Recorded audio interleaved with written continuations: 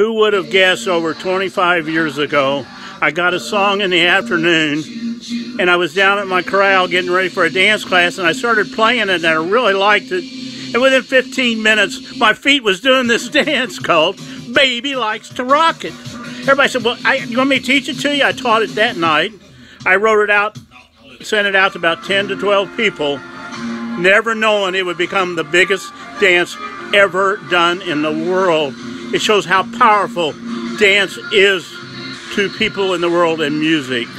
I think in Japan there were over 10,000 people did it at one time for a Guinness Book of Records.